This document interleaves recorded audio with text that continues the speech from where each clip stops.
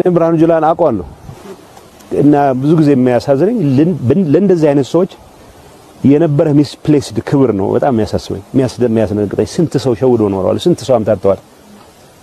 ጋንታ ነው ትንሹ ኃይልስ ጋንታ የላቸውም ይላል ብርሃኑ ጁላ። ጋንታ ምን ማለት እንደሆነ አሳምረው ያውቃል ብርሃኑ ጁላ።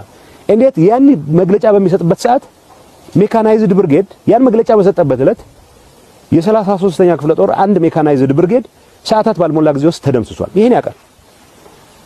ግን ኢትዮጵያን ሕዝብ ወጥቶ እንደዚህ ነው ይላል። ባጫ በቀደም ባጫ ፌዘኛ ነው። ባጫ አንደኛ ወታደርም አይደለም፣ እስክስተኛ ነው፣ ዳንኪረኛ ነው።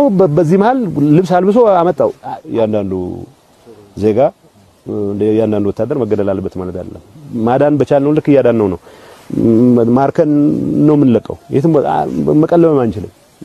ህዝባችን በበቂ ሁኔታ ተጎድቷል ኢኮኖሚካሊ አሁን። ስለዚህ ስንማርክ እንለቀዋለን።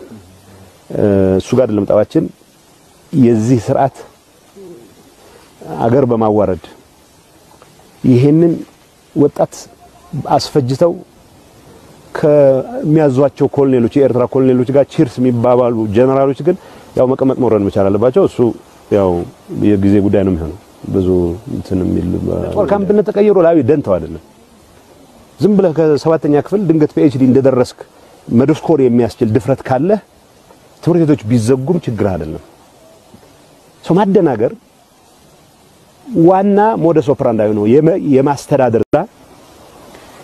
እኔ ብርሃኑ ጁላን አውቀዋለሁ እና ብዙ ጊዜ የሚያሳዝነኝ ለእንደዚህ አይነት ሰዎች የነበረ misplaced ክብር ነው በጣም የሚያሳስበኝ የሚያስደነግጠኝ። ስንት ሰው ሸውዶ ኖረዋል፣ ስንት ሰው አምታተዋል።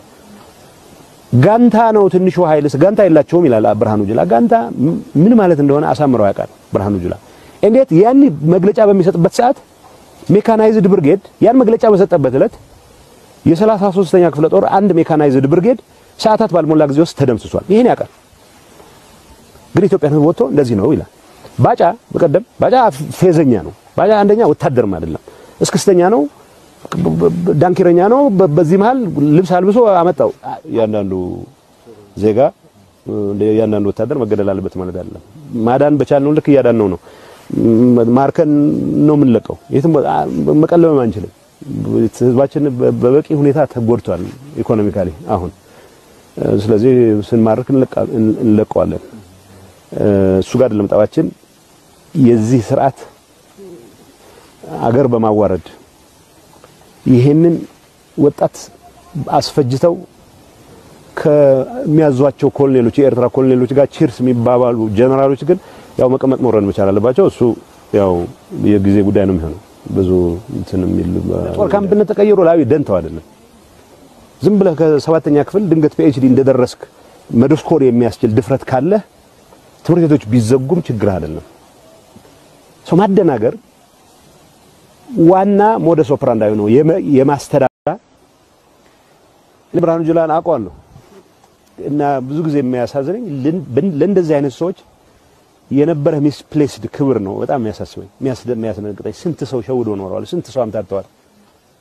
ጋንታ ነው ትንሹ ኃይልስ ጋንታ የላቸውም ይላል ብርሃኑ ጁላ። ጋንታ ምን ማለት እንደሆነ አሳምረው ያውቃል ብርሃኑ ጁላ። እንዴት ያን መግለጫ በሚሰጥበት ሰዓት ሜካናይዝድ ብርጌድ ያን መግለጫ በሰጠበት ዕለት የሰላሳ ሦስተኛ ክፍለ ጦር አንድ ሜካናይዝድ ብርጌድ ሰዓታት ባልሞላ ጊዜ ውስጥ ተደምስሷል። ይሄን ያውቃል። ግን ኢትዮጵያን ሕዝብ ወጥቶ እንደዚህ ነው ይላል። ባጫ በቀደም ባጫ ፌዘኛ ነው። ባጫ አንደኛ ወታደርም አይደለም፣ እስክስተኛ ነው፣ ዳንኪረኛ ነው። በዚህ መሀል ልብስ አልብሶ አመጣው። እያንዳንዱ ዜጋ እያንዳንዱ ወታደር መገደል አለበት ማለት አይደለም። ማዳን በቻልነው ልክ እያዳን ነው ነው ማርከን ነው የምንለቀው። የትም መቀለብም አንችልም። ህዝባችን በበቂ ሁኔታ ተጎድቷል ኢኮኖሚካሊ አሁን።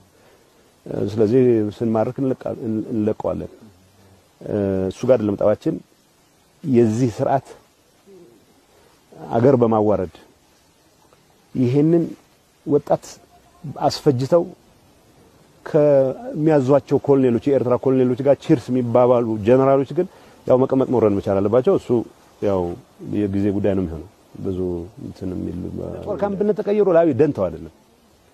ዝም ብለህ ከሰባተኛ ክፍል ድንገት PhD እንደደረስክ መደስኮር የሚያስችል ድፍረት ካለ ትምህርት ቤቶች ቢዘጉም ችግር አይደለም። ሰው ማደናገር ዋና modus operandi ነው የማስተዳደር